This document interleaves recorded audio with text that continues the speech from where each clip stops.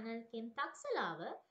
Through this video, I am discussing about an important part of your advanced level industrial chemistry syllabus that is production of sodium carbonate. For your syllabus, we have to talk about the Solvay process. Sodium carbonate is a raw material required for a number of chemical industries and presently about 20 million metric tons of sodium carbonate are annually produced in the world. Then let's see some of the uses of sodium carbonate. It is used to remove hardness of water and also it is used to improve cleaning action of soap and detergents. Moreover, this is using as washing soda. We can mix sodium carbonate to the wood pulp in paper industry also. As well as sodium carbonate is used in production of glasses. The main chemical reactions involved in the production of sodium carbonate are given in this slide.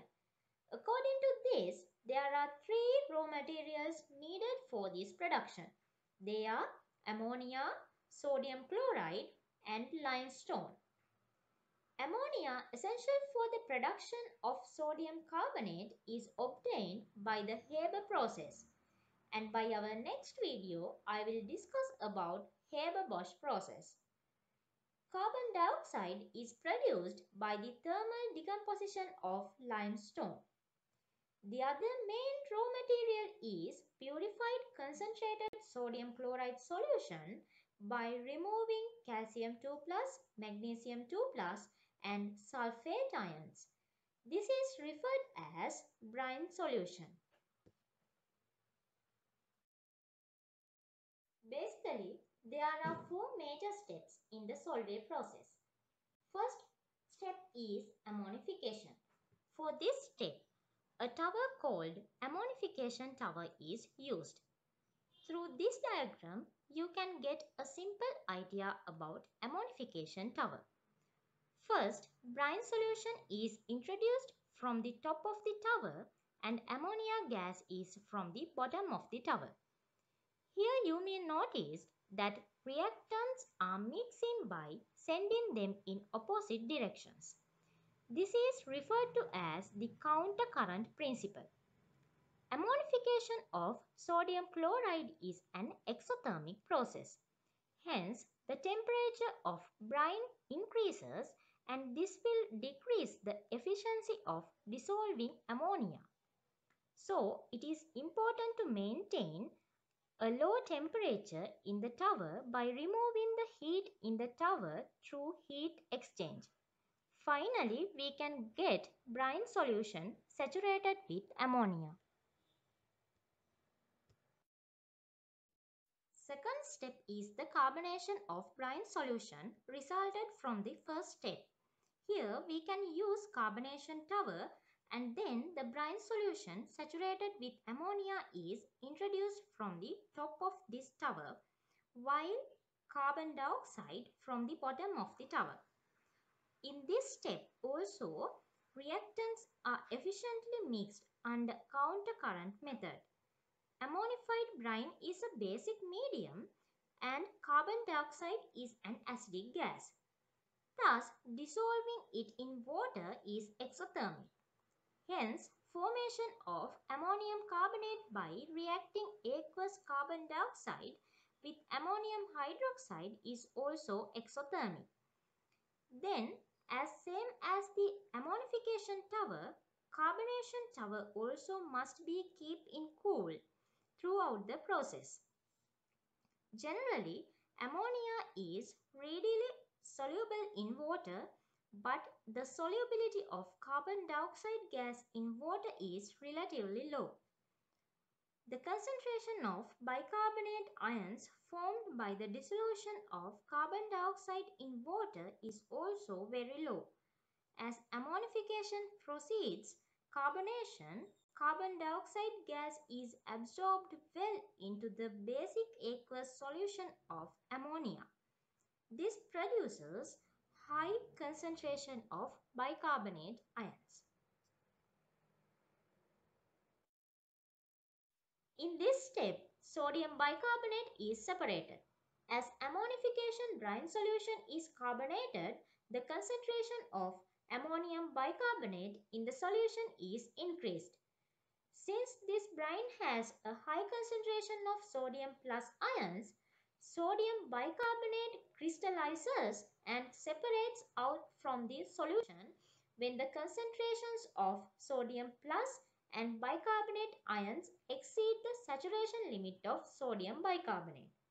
The overall reaction can be stated as this. Then the formed solid sodium bicarbonate is removed from the solution. The overall reaction forming sodium bicarbonate can be written as this equation. Fourth and the final step of the Solvay process is obtaining sodium carbonate. Anhydrous sodium carbonate is obtained by heating sodium bicarbonate which is separated in the previous step. Here carbon dioxide is formed and this gas is sent back to the carbonation tower. Ammonium chloride which is a byproduct of this process is used to regenerate ammonia gas as this equation.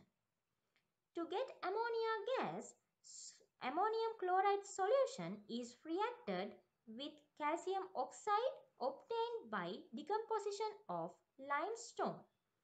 Then the formed ammonia gas is passed to the ammonifying tower. Accordingly, the overall theoretical reaction for the entire process as follows. However, keep in your mind that just by mixing solid calcium carbonate and anhydrous sodium chloride, we cannot prepare sodium carbonate. The final byproduct of this process is calcium chloride and this also can be used for other industries. Due to some reasons, Solvay process is economically profitable. I have already told you as raw materials we want sodium chloride and calcium carbonate. Both these raw materials can be obtained easily and they are low cost materials.